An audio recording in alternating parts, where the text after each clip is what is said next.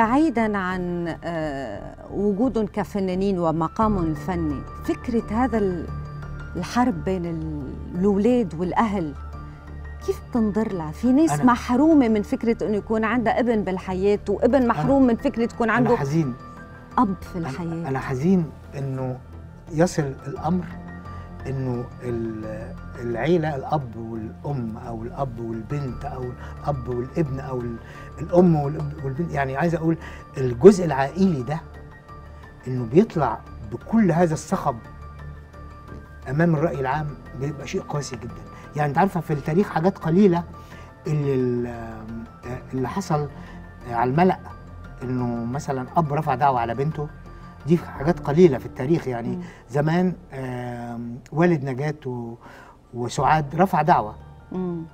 عليهم عشان دعوة إنفاق ينفقوا عليه كويس دي حالات نادرة وقليلة جدا وأصلا كمان الجدل حصل بين أنغام ووالدها برضه ده برضو أن أن- ولغاية دلوقتي يعني. دلوقتي في مثلا لما جاي يتكرم في الأوبرا قريب ما ما جاتش تغني يعني هو كرم عشان هو هو محمد علي سليمان الرصيد الأكبر عنده إيه؟ أغاني أنغام مش كده؟ آه ما راحتش؟ تغني. فظيع وفي حفل وفي حفل آه الكبيرة. حفلاتها ما بتغنيش اغاني ورغم ذلك ورغم ذلك واصلين هم لمرحلة التعايش السلمي. يعني هو بطل يهاجمها ولا هي ب- ولا هي بتهاجمه بس بس في شيء برأيك بس في شيء في العمق جرح بتحسه مش هيطيب. ال- ال- الجروح آه لم لم يتتم بعد آه يعني لم لم, يتم لم تطب يعني. لا تزال فيها حاجة. موجودة. لكن الحد الأدنى إنه لم تعد على الملأ. الفلوس الفلوس برأيك هي سبب؟ ممكن اللي عم تخلي الأمور توصل للاحتدام؟ مصلحتي ومصلحتك وفلوسي وفلوسك وما ادتنيش وما تقسمناش ال- بصي ساعات انت بتراهن على شيء. ممكن واحد يراهن. انت ما تراهنش على ابنك ان انت بتربيه فبالتالي هيبقى بالنسبة لك مشروع. مش مشروع. مم. انت بتربيه لأنه ابنك. مم. بس مش مشروعك. هو عنده أحلامه عنده طموحه عنده حياته. ربما يكون كان ده جزء من التكوين.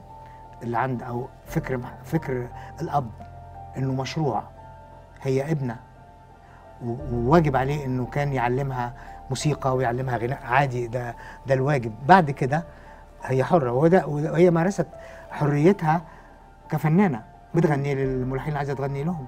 آه. صاحبة صاحبة قرار. مم. هي يعني ال- الفكرة أو الخلاف تحديدا حول الحصرية. أنا بتصور حول أتصور- الحصرية أكثر أتصور من لأنه كان حصري هو مم. لو انت رجعتي للبداية كان لا تغني إلا لمحمد علي سليمان فقط.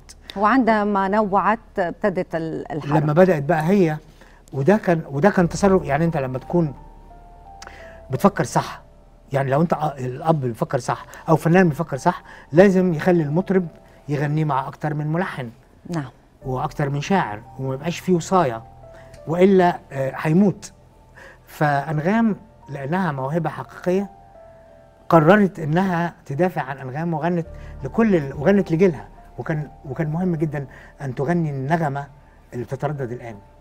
لكن في نفس الوقت أنا لا يعني بعتقد إنه نفسي إن الجراح تهدى وتغني لمحمد علي سليمان. هتغني له نغمة أكيد حلوة مش بدلا من بالإضافة إلى بالإضافة لكل الملحنين ال- ال- الموهوبين اللي بتشتغل معاهم من هذا الجيل إيه اللي يمنع إنها تاخد ومضة جميلة من محمد علي سليمان مم.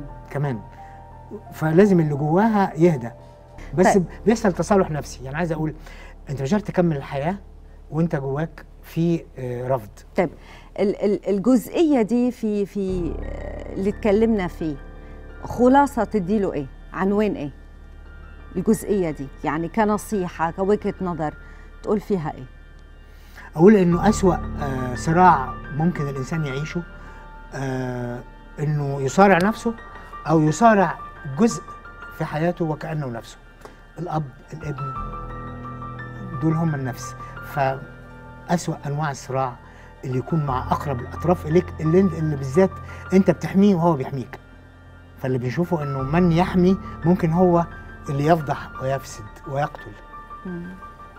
للأسف ناس محرومة من فكرة الإنجاب وناس عندها مشكلة حتى بتقبل ابنه أو الابن بس ما أقدرش أقول والده. إن ده دي القاعدة. مم. لا بيظل في أي مجتمع بما فيها المجتمع الفني ده الاستثناء وليس القاعدة.